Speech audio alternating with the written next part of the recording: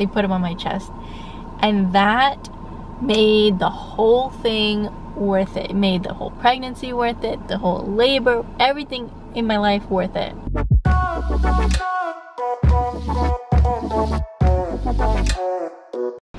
Hi everybody, welcome to my channel. My name is Audrey and in today's video I'm going to be sharing with you guys my healing VBAC birth story. So if you are somebody who is looking to have a VBAC birth and you're nervous and you just want to hear some positive stories, then this video is for you.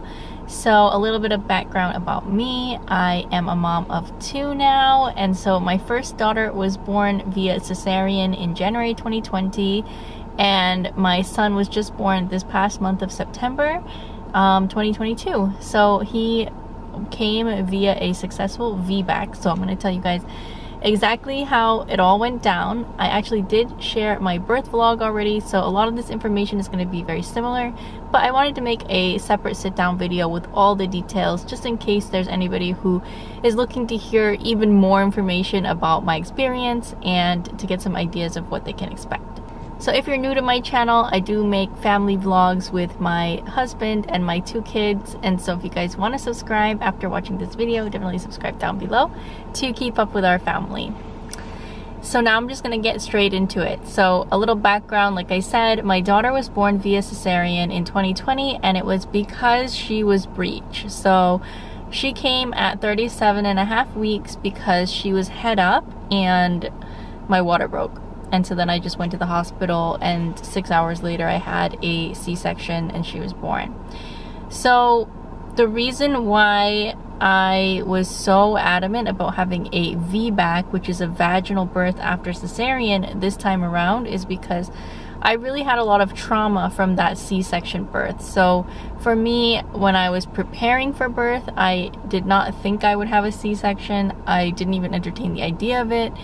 Um, so I didn't really prepare for it. I was just thinking of having a natural, unmedicated birth, which is kind of funny. We'll get to why that's funny in a minute. But that's all I thought about, and I was so excited to have it um, because I wanted that golden moment where you hold your baby after they're born. And I knew that a C section, a lot of the time, you don't get to hold a baby. So I wanted a, a natural birth didn't happen. I did have a C-section and I did not hold my daughter. And like I said, it was very traumatic for me. It was something that haunted me for many, many months, over a year. I was like still crying about it. And so when I got pregnant this time with my son, I said, I really want a VBAC. So I told my doctor right away when I went for my first appointment, I said, I'm going to be trying for a VBAC. Do you think it's okay? And he said, yeah, because based on the reason for your first C-section, you're a good candidate for a VBAC birth. So the reason was not an emergency or anything like scary. It was just she was head up. So they said I was a good candidate and so he seemed to be on board with me having a VBAC. So that was good. So throughout my pregnancy, I stayed healthy as much as I could. Of course, like having a toddler, it's a little bit different. Like second pregnancy, I didn't have a ton of time to focus on myself in my pregnancy because I was chasing my daughter around, but I think that actually helped because it kept me active. so even though I wasn't exercising, I still stayed active and healthy during my pregnancy leading up to my VBAC. So then fast forward to like now, September. My due date was September 10th and I really thought he was going to come early because my daughter came early. So I was really prepared like at 35 weeks. and then all the weeks leading up, I was just like, oh my god, where is this baby? So then as it got closer and closer, I started joking saying maybe he's waiting for Labor Day because Labor Day was on September 5th. So I said, oh, maybe he's he's just waiting for Labor Day because like labor. So the night before I went into labor was September 4th, and I had been going on nightly walks with my neighbor to just stay active and kind of help move things along. I did something called curb walking, which I heard people said helps induce labor, which is like there's a curb, right? It's like this, and you just walk like one foot up here and one foot down here, and you just walk along. I did that, and then I went home, went to bed, and then at 2 o'clock on the dot, I felt a pop and I said, uh-oh, I know what that is. So I quickly got out of bed and waddled to the bathroom and I made it to the toilet just before my waters came out. So with my daughter, my water also broke. So I knew when I felt that pop, I knew. And I immediately just started laughing because it was Labor Day, 2 a.m. on Labor Day. And so I was like, okay, I guess he really was waiting for Labor Day. So that was pretty funny. So I called the doctor. He said to come to the hospital right away just because second babies come faster and also I had a C-section before so they want me to just be there right away. I kind of wanted to stay home so I took my time getting ready. I took a shower, washed my hair and everything and then it was 3.15 when we left the house and the drive to hospital is only like 18 minutes. It wasn't super far and there's nobody on the road obviously eh, at 3 a.m. And so as we were in the car and started driving, contractions started and they were five minutes apart. And I was like, oh my God, this baby's like coming, coming fast. He's coming in hot. So we got to the hospital. I had had three contractions on the way to the hospital. We checked in and like, I was just in good spirits, really excited. Like, you would think you'd be more, like, I'd be more nervous, but I was just like excited because I couldn't wait to meet him. So we checked in, they took me to observation to see if I was dilated and checked the waters, which obviously the waters did break, it was water everywhere. and um, so they checked me, I was three centimeters already. This was around 4.30 in the morning, I think between 4, 4.30.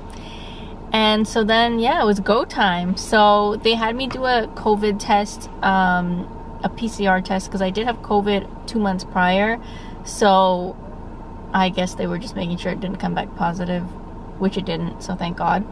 So I did a COVID test and then I was ready to do this thing. So I was so adamant about not taking pain medication because I heard like it's not good for the baby. It can make them drowsy or whatever. Like when they're born, it might be giving you trouble with breastfeeding. So I was like, oh yeah, I'm gonna do this without the epidural. I'll be fine. I took a hypnobirthing class to prepare, like get my mindset ready. And let me just say, I was not prepared for the pain of labor. So I labored until I guess it was like 6 or 6.30 and I was in good spirits. We had music on. I was up out of bed, da like dancing around. I was eating a little bit of a snack because I could eat at that point. And then shit got real, real painful. Oh my god. So my contractions were insane, and the nurse said it was probably because my water had broken a while ago, and so there was no cushion left, really. Like, I mean, there's still some water. There's it replenishes, but like there's less water than if it had not broken so that's why it was probably extremely painful for me. And I was trying trying trying to just like stay calm and and just get through it but it came to a point where I just started crying and I said to my husband I said I can't do this. I really like I'm gonna cry now remembering how emotional I was because I was I was really dead set on doing this like no epidural. I thought like if your mind is strong enough you can do anything right well, maybe not everything. So finally, when the nurses switched at 7, the new nurse comes in and I'm just there like sobbing like, oh, I can't do this. This is terrible. She must have thought I was crazy. And she was like, it's okay. Just like, don't close your eyes during the contractions. Because I was like, closing my eyes. And she's like, if you close your eyes, it's going to be more painful because then all you're focusing on is your pain. But at that point, I was just like so over it, and I was like, I need the epidural. So I told them, they gave me two options. They said one option, they could put something in the IV that would help with pain management, um, but it wasn't like a full, like, I don't know, it was like some like I don't even understand what it was. It was like something where they could only give it to me now, and then as I got closer to pushing, they would have to stop. And I was like, you know what? Just give me the full epidural. Just give it to me because I'm dying. like, I literally said I was dying because I was. I felt like I was dying. It was so painful. So they gave me the epidural and I, I cried and cried and cried because I I just felt almost like I had failed at that point, even though like I hadn't even gone to the birth part yet. But I felt like such a failure. I was like, I, I should have been able to do this. Like, I should have been stronger. But at that point, I decided it was worth getting it because my ultimate goal was to have a vaginal birth that resulted in me holding my son immediately. That's the, the main thing I wanted. Healthy baby, healthy mom, baby in arms after vaginal birth. That was, so I said, you know what? Let's take the epidural and we'll get through this. So he came in, he placed it. It was so scary. I hate it. Oh my God. Like you have to stay still, but it's so hard to stay still when your body is like, felt like it was like getting broken in half. So I stayed still, he put it in, and then within a few minutes, I started to feel good and relaxed. So after that, I laid down and I just, I had calmed down, like I wasn't crying anymore, wasn't in pain anymore. And I just said, okay, now it's time to rest. So that way, when we do get to pushing, I won't be dead. So I was five centimeters at that time when I got the epidural. So I had made it like halfway without the epidural. So then I just laid, you know, I laid in bed, um, labored, and they kept, they, they came and checked me a few times. So around, I think 10 o'clock, so I took the epidural at 8. Around 10 o'clock, something was happening um, where I would have a contraction and then after the contraction the baby's heart rate would dip down. So the doctor and the nurse came in, they were like, "Hey, let's check you and let's see because something's not right right now." So he checked me. I was at 7 centimeters at that point. So I had been progressing like right along, which is good because I was so afraid like if my body didn't progress and then that would be the reason for a C-section. But anyways, so he said he, he kind of seemed like a little worried, my doctor. And he was like, you know, this could end up being a C-section. Like, he's like, I'm not gonna sugarcoat it. It could be a C-section. Something weird is happening with his heart rate. We're gonna watch it and see. But at this point, you know, it could go either way. Like, we don't know yet. So the nurse decided to like help me change positions to see if the baby would tolerate labor a little better. So I was like on my back before and then she helped me to turn like to this side and then to my back and then to this side. So like I needed help to move in bed because I couldn't even feel my legs. So every time we would change positions, he would be okay again for like 20 minutes. So contractions would be going and going and going and they can see the screen outside. So they would leave and then they would come back because like, uh oh, something's happening again. And it was so stressful. Like we were just laying there like i was laying there and my husband he he was watching the monitor to see the heart rate and i kept just asking is it okay? Is it okay? And, he, and he'd be like yeah it's okay yeah it's okay. And then he'd be like oh no it's going down again. They're gonna come back. So then she would keep coming back helping me out to switch the position and then around noontime the doctor came back and checked me again i was at a nine and he said okay at this point since we've been able to manage his heart rate up until this point, I don't see why we can't continue. But if you feel nervous and you want a C-section, just say it and we'll do a C-section. And I said, you know, I thought about it and I thought, well, we're already this far. We're nine centimeters. I just need one more centimeter and I can push. So I said, okay, let's just keep going and doing what we're doing. And the reason I kind of chose that is also because the doctor didn't seem as worried at this point because he I think he knew like probably we would be fine to, to make it through. So I said, okay, let's just push through. So we waited another hour and a half, I guess, um, until 140. And then at 140, I was finally a 10 centimeters dilated and I guess it's called like two station. Like you have to get to three station when the head is coming down or something. So that's what they were saying. They were saying 10 centimeters and two. You're at a two, so we're gonna start pushing. So first couple pushes were practice pushes. Didn't really do anything. Um, the nurse was just kind of watching to see how I'm doing. and the doctor wasn't even there because I guess they knew the baby wasn't coming right away.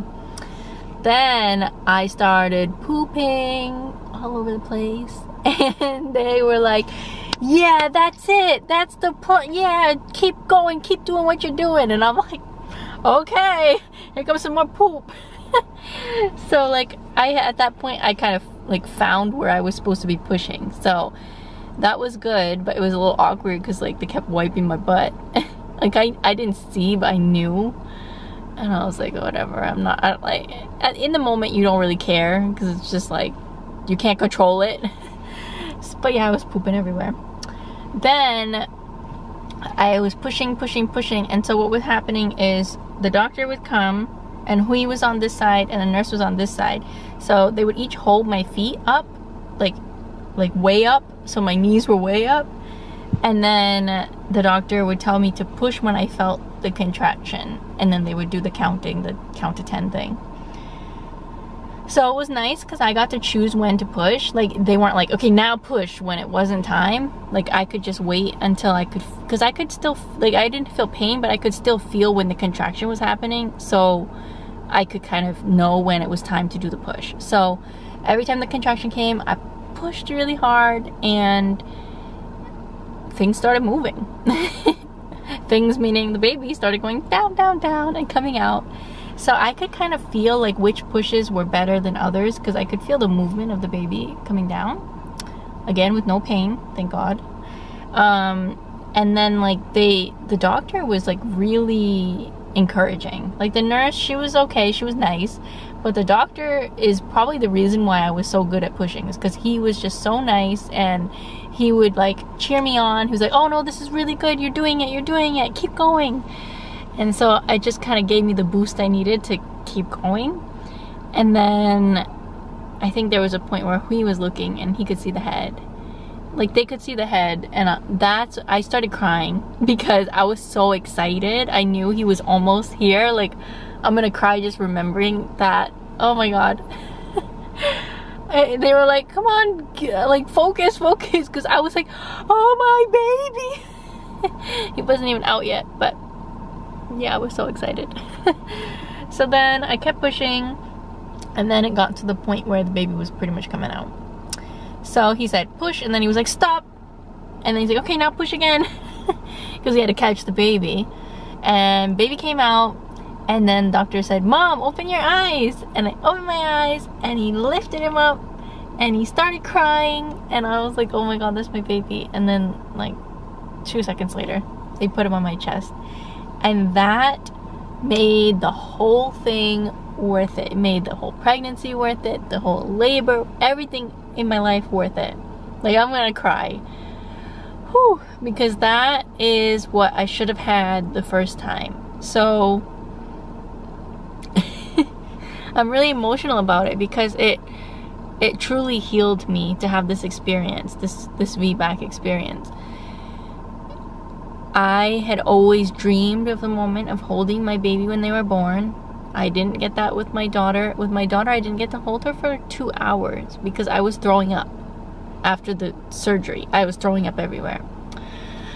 But this was completely different. As soon as I held him, I didn't have a worry in the world. I felt no pain. I felt no fear. I felt nothing except for joy and bliss and happiness and he was so cute and I was just so I, I told him I was so proud of him for coming out like yeah like he did a good job he, he made the journey down he came out and then they um, like after a few minutes they took him to weigh him and like at that point I was okay with that because I had had some time with him he was all gross like with the with all the yucky stuff on him. He had like blood on his head and, and the vernix everywhere. He was like sticky. But I was just so happy. I couldn't believe that he was here and we were meeting him. So I took him and weighed him. He was 7 pound 13 ounces, 19 and 3 quarters inch long. Looked amazing. He had like the cone head from coming out. But other than that, everything was good. His APGAR score was 9-9, which they don't really do 10 because nobody's perfect. so that's pretty much a perfect score, a 9-9. so yeah he came and then I breastfed him and it was just again another stark difference because with my daughter I could not breastfeed her because I was so out of it and dead um, I had her at 2:43 in the morning and then I was throwing up like so I had been awake the whole day before my water broke at 8 my surgery was at 2 she was born at 2:43 I threw up for a few hours and then it was like 5 a.m. and they were trying to make me breastfeed and I blacked out. I like couldn't do it. This time Got that moment with him. He went on, I don't know how his latch was, but he tried. He was so cute. And then, you know, we got our bonding time in the room before they moved us over to the recovery suite. And when they did that, you know, they wheeled me in the wheelchair and it was like so emotional because like all the staff was like cheering clapping and saying congratulations as we rolled by. And then they have this new feature at my hospital. They didn't have it last time where they have this hallway where the dad gets to push a special button and then it makes some music and some lights either pink or blue for whatever gender you had. And so yeah there was like lights blue lights and we were just going down the the blue lights and then she took our picture and it was just like such a nice celebration and such a great like end of my birth experience. So we went to um, recovery and then we just rested and enjoyed him. So I am going to make a separate video about my postpartum recovery and how that experience was especially in contrast to my c-section recovery because it is completely different. Right now I am three weeks and four days postpartum and I feel amazing. Like, I do not feel like I pushed a human out of my vagina three weeks ago. I feel like normal, like myself. And so I'm going to talk a lot about that in my next video installment about postpartum recovery. But that is my healing VBAC birth story. I hope that it has helped you if you are pregnant and you are excited to meet your baby but you're maybe a little nervous about how it's gonna go if you chose the VBAC or even if you're just having a baby for the first time it doesn't even have to be a VBAC I just hope that this positive birth story helps whoever's watching to feel a little bit less scared and more confident and excited about what's to come. Um, it is super scary, I will admit, like not knowing when labor's gonna start, how things are gonna go. Um, if the baby's okay, like what the recovery is going to be like. But just try not to think too far ahead and hopefully everything will be great. So give this video a thumbs up if you liked it. If you haven't already, please subscribe down below to my channel to follow our family's story, our vlogs and everything. And I will see you guys in the next video. Bye!